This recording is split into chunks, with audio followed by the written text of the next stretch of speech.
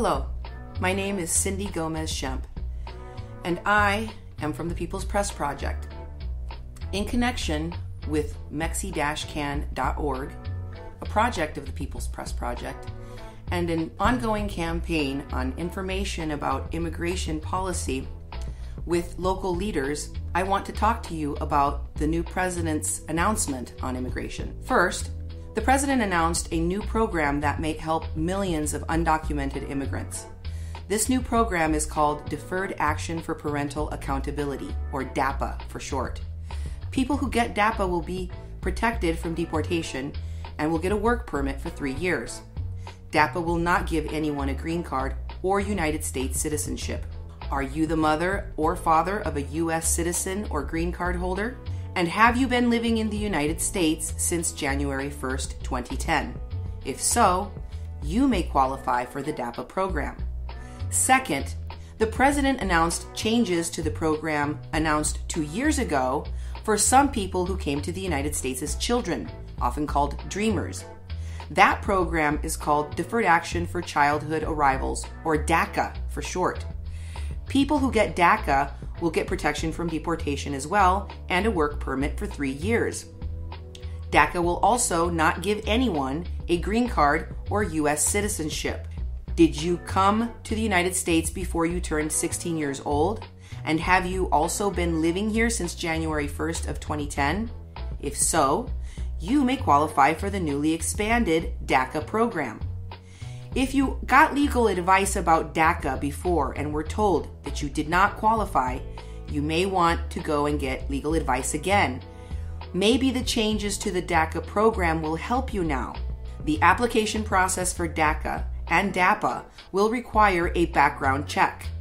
You should get good legal advice about your case. But it's very, very important for you to get legal advice if you've had any contact with police or immigration services, including as a juvenile. Some types of contact with the police or immigration services means you won't qualify for DACA or DAPA, but other problems might be okay.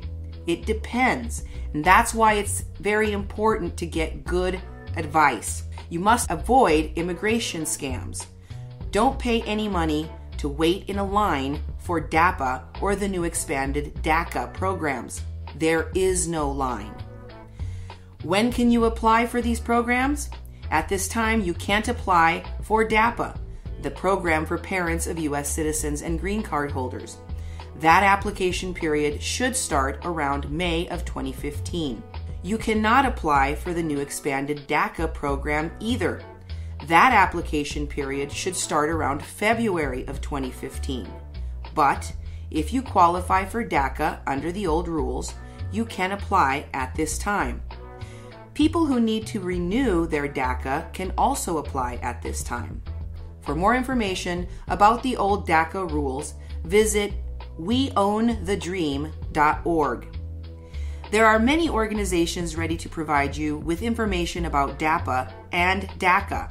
Visit adminrelief.org for free information and to find legal help near you.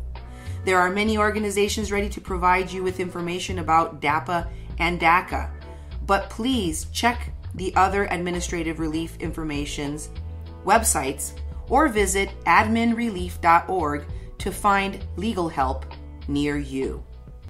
Hello, this is Cindy Gomez Schempp, and I'm with the People's Press Project. We are visiting again today with Anna Stenson, an immigration attorney who is jointly working together with the People's Press Project and other community leaders to bring an information campaign on President Obama's recent annou- announcement about immigration.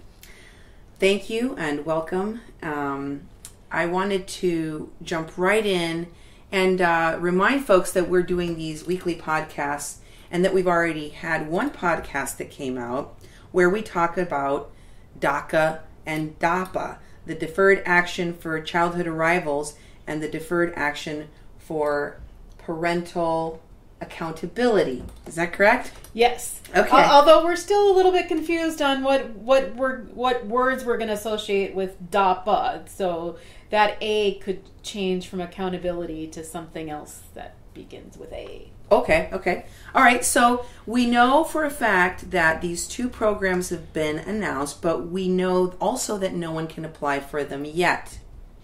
Correct. No filing yet. We know that it's going to happen, not today. Right, right. But there will be possibly opening for um, DACA and DAPA in February and then also possibly in May, correct? Well, the the expanded DACA, the president said, you know, within 90 days of today, I want this pro- program to be available.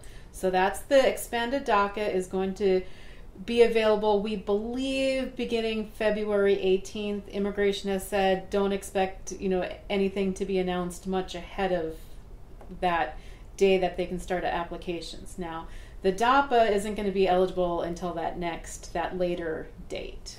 Okay, okay.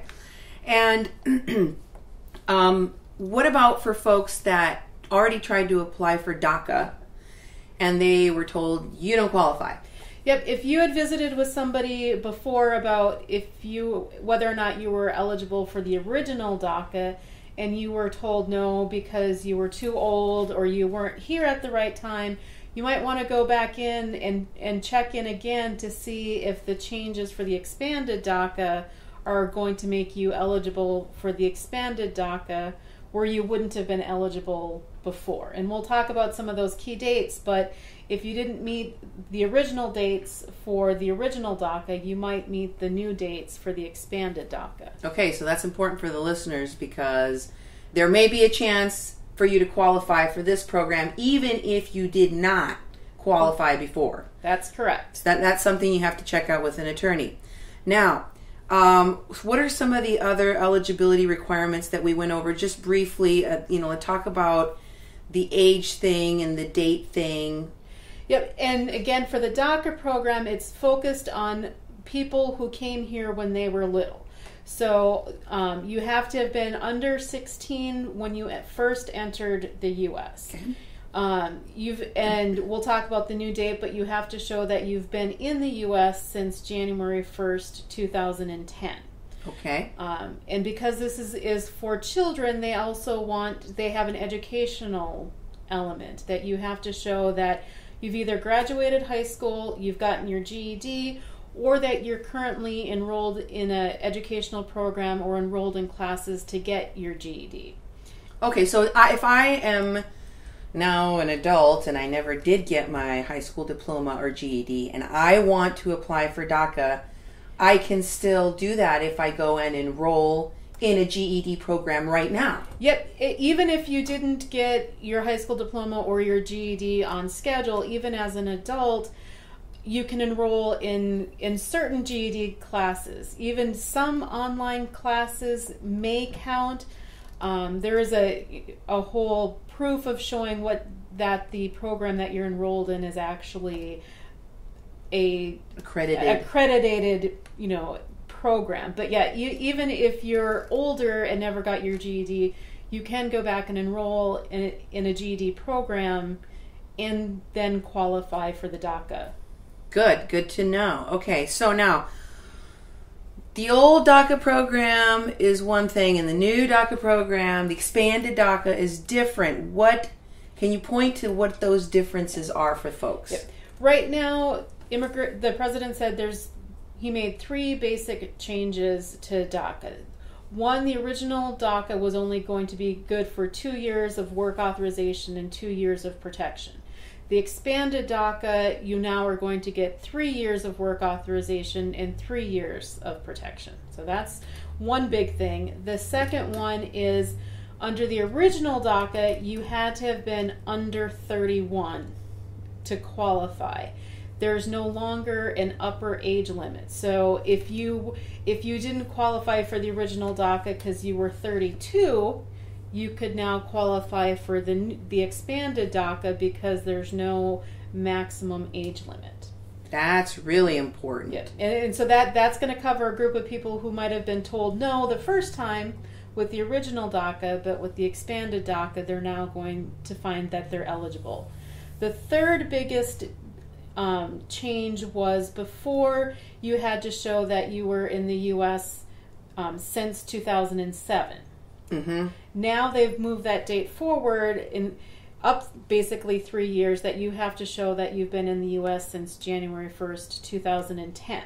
So again, somebody who might not have been here in 2007 but was here in 2010 is now going to be eligible, where they wouldn't have been eligible under the original program. Those are all very important details. So, folks really do need to go to a professional to get all of those different details checked out. Because, again, even if they didn't qualify before, things could change. Yep, and, and we're still th- thinking that some of the el- the eligibility and the requirements for the expanded DACA could change because we're not sure. Because we know the requirements for the original DACA, Mm-hmm.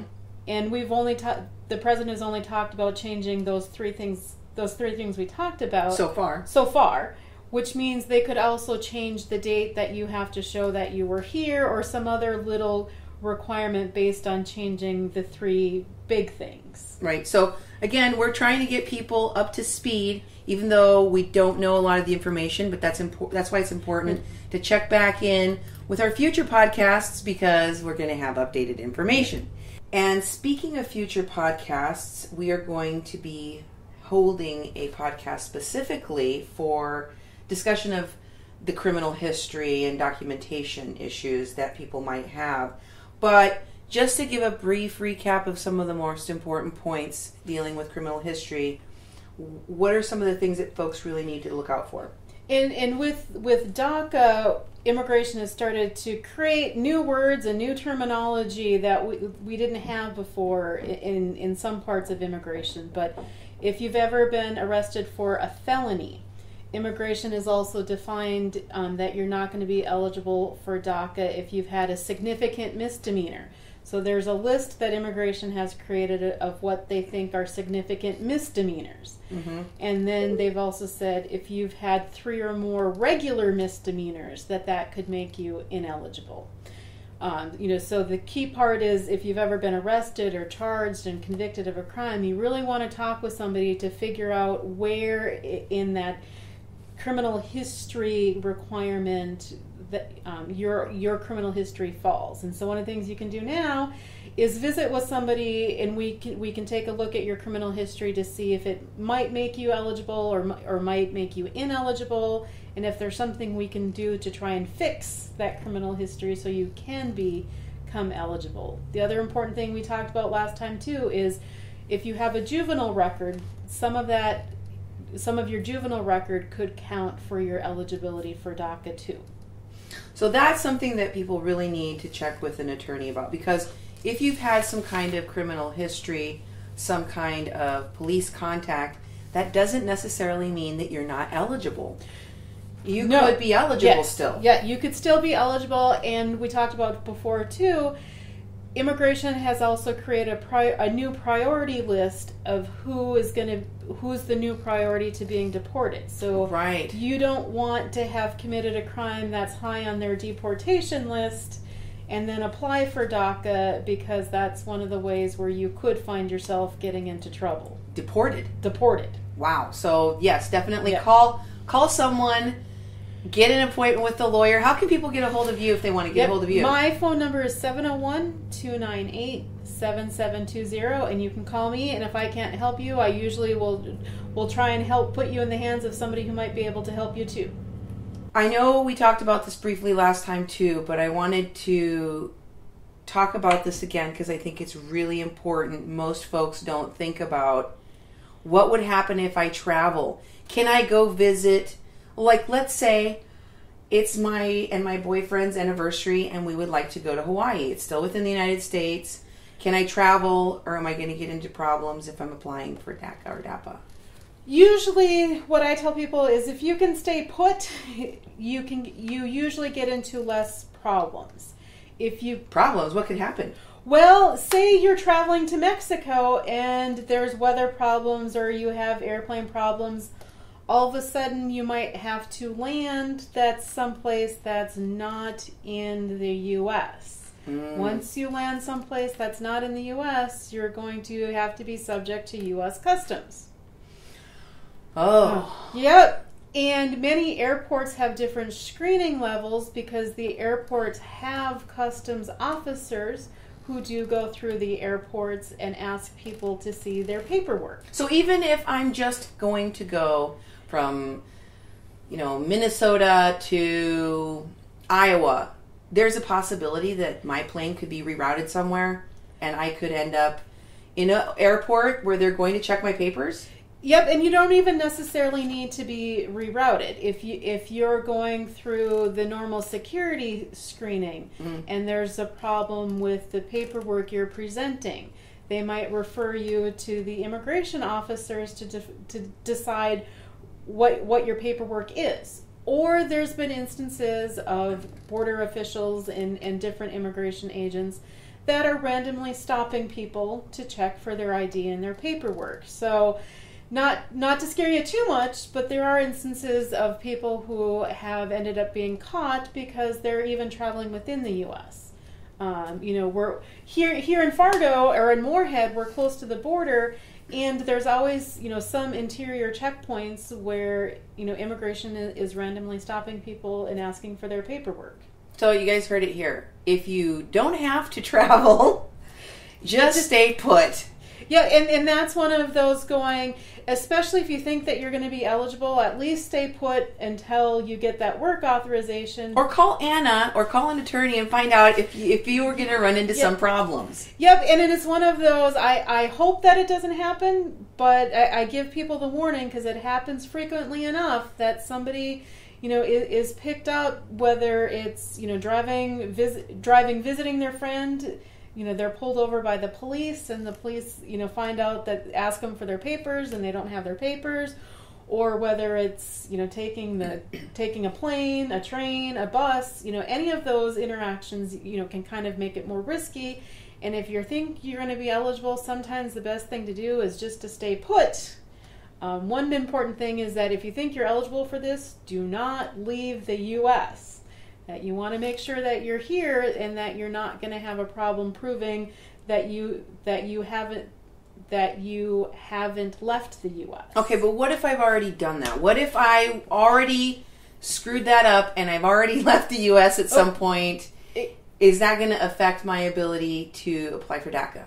It's going to depend. It's going to depend on when you left, how long you were gone, Oh. and what happened when you came back. So that's another one of those instances where, you know, sit down and think about, you know, have I always been here in the US or did I make that trip back to Mexico to visit grandma or for an aunt or an uncle's funeral, you know, and, and try and get paperwork about, you know, when did you leave, when did you come back, and check in with somebody to see whether or not that's going to affect your eligibility. So this would be another major issue that you need to check with an attorney or somebody that's been licensed to give immigration advice. Yep, that's exactly it. You know, if if you have had any of these things, you know, criminal history, or you've ever left the U.S. since you came in the first time, just to go in and, and check in to make sure that you're still going to be eligible and that you're not going to get into trouble if you apply for this. Because for because for the uh, application for DACA and DAPA, there are, and there have been even before in the DACA program that was original, um, a presence date that you have to prove you were present in the country on that date. Talk about what those requirements are going to Yep. be now. Well, with the original DACA program, you had to show that you were physically here in the U.S. on June 15th, 2012. When the president made his announcement, he didn't say, well, now you have to show that you were in the U.S. on the date he made the announcement in November. But that's one of those things that I think immigration is, is trying to work out. The is it are we sticking with the original DACA date of June 15th, 2012 or for the new expanded program are you going to have to show that you were here when he made the announcement on November 20th, 2014? Mm. And so, yeah, there's always been that physical presence date that they pick a particular date that you have to show that you've actually were here in the U.S. on that date. Okay, so um, we know some things for sure that folks can get ready for right now. For example, we know what the filing fee costs. Yep, we know that the filing fee cost is going to be $465.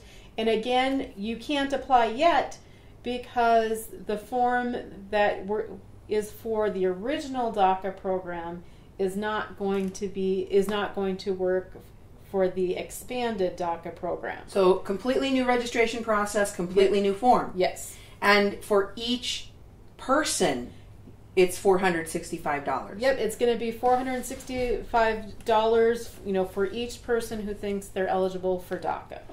And we also know that people are going to need to have certain types of documentation. Yep, and we're going to do another podcast in terms of documentation. But what we know now is you can start gathering documents. You can start checking to see if you meet the requirements that we know of. And you know, for documents, make sure that you have an ID. You know, something that says who you are. Um, if you're eligible for DACA, we talked about you have to prove that educational requirement. Mhm. So, school records, school transcripts, high school diploma. If you never got your GED, go in and talk with a lawyer or a representative to make sure that you get enrolled in a program that will qualify you for DACA.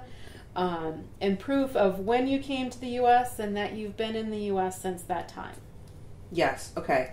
So, and again, we will talk more about the details of the documents and some of the issues that might come up with some kinds of documents that people have used in the past, and maybe if they were false or whatever. We'll get into all the details in that future podcast, but it's good for folks to know that they can do some things right now to get ready. And one of the things that people should know about the documents is that the consulates are allowing people now to get their documentation here in the United States rather than going back to the origin country. Yep, and that's working for Mexico. Mexico has announced that if you need to get a Mexican birth certificate or a Mexican ID, that the Mexican consulate consulates here in the U.S. are going to help Mexican citizens get some of those documents without having to go back to Mexico or have somebody in Mexico get those documents. Okay, one last thing uh, I wanted to talk about because this is something people need to concern themselves. Don't get scammed. There's some scams going on out Yep, there. there's a lot of scams going out there. People are saying, you know, oh, I can guarantee that you're going to qualify for this. Right now, we, you can't even apply, so we can't guarantee anything. Mm-hmm. Um, one of the things that's going on now is when President Obama talked about immigration reform, he talked about making sure people went back and paid their taxes. Mhm. And so now, since it's tax season, there's scammers out there who are encouraging the undocumented people and saying, well, you need to go back and file your old taxes in order to be eligible for DACA. Well, that's not one of the things immigration has talked about as a DACA requirement. So you shouldn't be paying somebody to go back and file file your taxes if you didn't file them before. That that's currently not a requirement. So And if one somebody tries to put you on a list, on a waiting list that you have to pay for, that's also not true. Yeah, nope. And what I've been telling Mike, if somebody calls in and I think that they're going to be eligible for the expanded DACA, I take their name and I take their information and I say, you know what, I'll give you a call as soon as we know more, and then we we can go from there.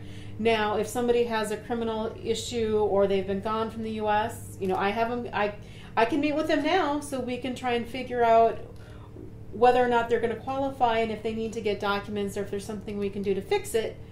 But yep, if somebody is saying, you know, give me money right now, you know that you know that that that might be a scam. Right. So if people are asking you for money up front right now for things that you can't even apply for, that might be a scam. Yeah. But what is really important for folks to remember is that there's a number of things they're going to need in preparation for the application process, like having their criminal background checked and all of this stuff that lawyers can help them resolve now. Yes. Um, so if you have any questions about your travel in and out of the country, your your criminal background history, documents that you don't have or documents that you've used in the past, those kinds of things people should make an appointment with somebody that's qualified like yourself and get all those things sorted out now Yes. because it could take some time to do. It can take some time to do, and then there's going to, we're thinking there's going to be a rush. As soon as people are going to be able to apply, we're going to be helping people apply, not necessarily be working on the difficult issues. Right, and so if somebody waits